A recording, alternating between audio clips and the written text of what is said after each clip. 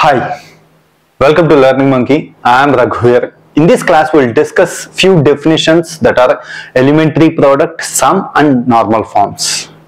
This is very very simple class to understand. In our previous classes, we have done some practice examples. Please watch those classes and come back here. The link for the playlist is provided in the description below. Coming to today's class, elementary product, the product of the variables and their negations in a formula is called elementary product. Here product means conjunction. So any formula that contains variables and their negations, in between we should have the conjunction for, uh, connective. Then we say it as elementary product. So P, we call it as elementary product. Negation P, conjunction Q.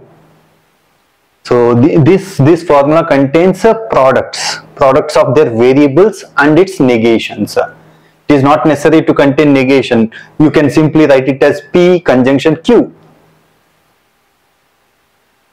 Similarly, negation Q conjunction, negation P conjunction P, we call it as elementary product. So now coming to the next equation, next definition, elementary sum. Same as the sum of the variables and their negations in the given formula is called elementary sum.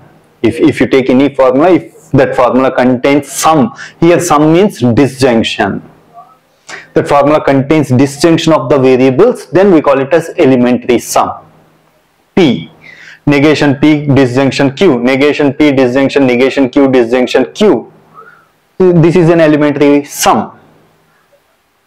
Elementary sum, we call it as. Now coming to the normal forms, we are having two types of normal forms. One is disjunctive normal forms, disjunctive normal form, second one is conjunctive normal form.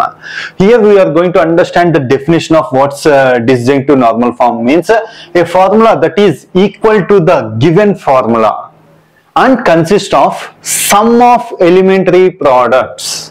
If your formula, if your proposition contains sum of elementary products, if it is in that form, we call it as a disjunctive normal form. Disjunctive means uh, disjunction. Disjunction means sum. Sum of elementary products.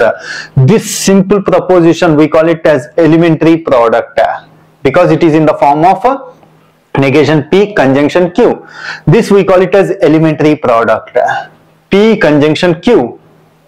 Sum of elementary products if it is in this form then we call it as disjunctive normal form.